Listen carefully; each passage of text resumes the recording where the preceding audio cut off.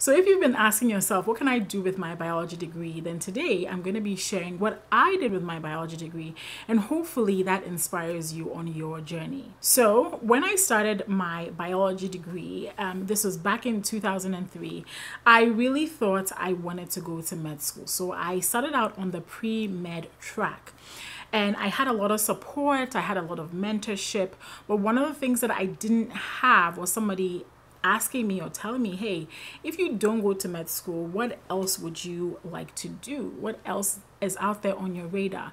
And in my case, I couldn't go to medical school because at the time I was an international student and many schools were not open, many med schools were not open to international students. And even if they accepted international students, you know, you had to be exceptional or the exceptional.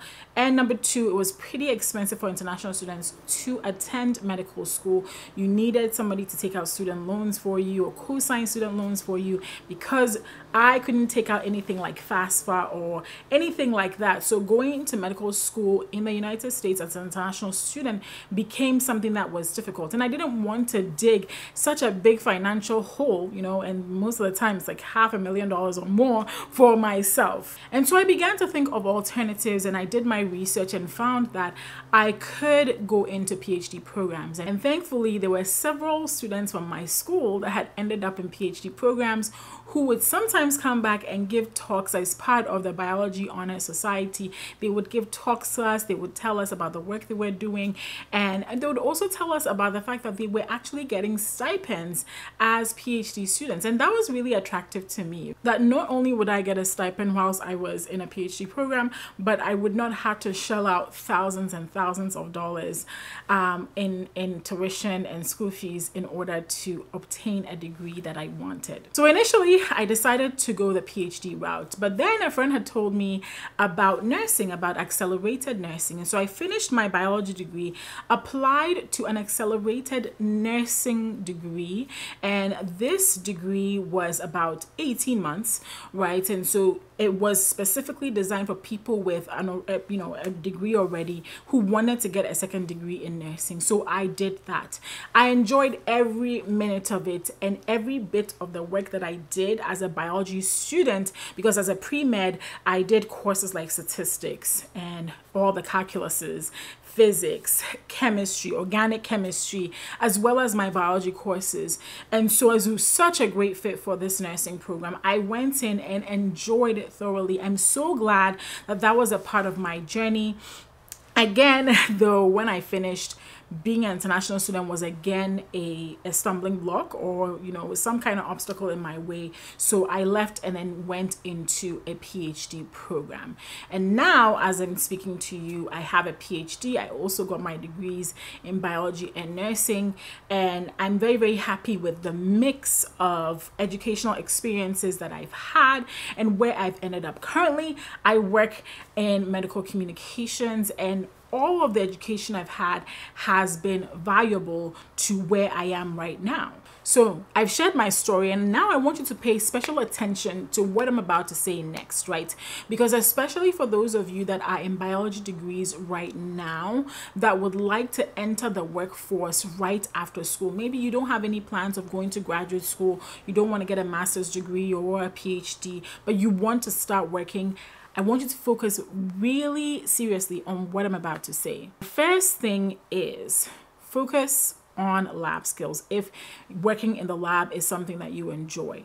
The reason I'm saying to focus on developing your lab skills, right, is because when you enter the workforce, nobody, and trust me, nobody is going to be impressed with your high GPA, with the fact that you got all A's, or with the fact that you have a fancy biology degree. What they're really concerned about is can you help us achieve ABC goal? And so maybe you're joining a lab or there's a lab that's advertising a role for you know, a junior scientist and they want you to be able to come in and do flow cytometry, or they want you to be able to come in and your job is going to be doing PCRs all day, or they want you to come in and your job is going to be some lab activity.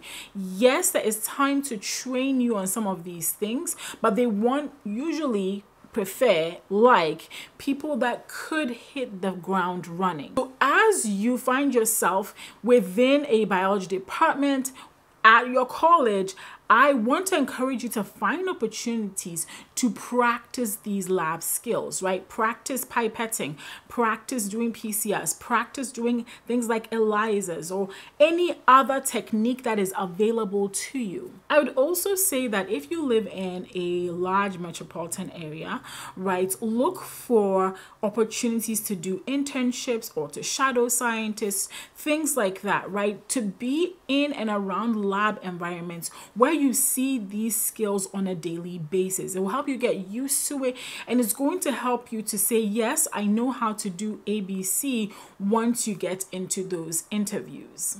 But let's say you don't want to go into the lab, right? And you want to get into something like medical communications, like I am. Yes, you can get into medical communications without a PhD, but again, you're going to have to be able to demonstrate to the hiring manager that when they hire you, right? that they don't they're not going to have to spend six months training you how to do the job. But with a little bit of mentorship with a bit of guidance you'll be able to take off running. So then my encouragement to you is maybe to check out some of the videos i've done on this channel on medical writing. My encouragement to you is to go on amazon and look for books on medical writing and read as many as you can.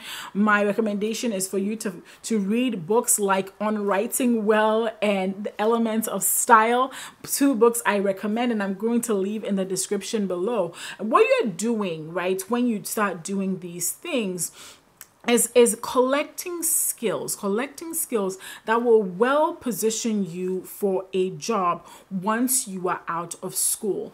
I know some biology majors too who have ended up learning things like programming and end up using that within the biotech setting. Yes yes we need programmers we need all these kinds of people in in the biotech pharmaceutical industry world. So there is a lot you can do with your biology degree and usually the most common path is the path that i took which is extra education, extra degrees, but definitely you can also look for um, career paths that are very skills based. You learn those skills while you're in school. You know, these days we have YouTube, we have Udemy, we have Skillshare, right? Check out courses on there, check out tools on there, begin to practice. And by the time you're ready to hit the job market, you will be ready to hit the ground running. If you haven't already watched this video where I share five high paying biology jobs, go ahead and check it out.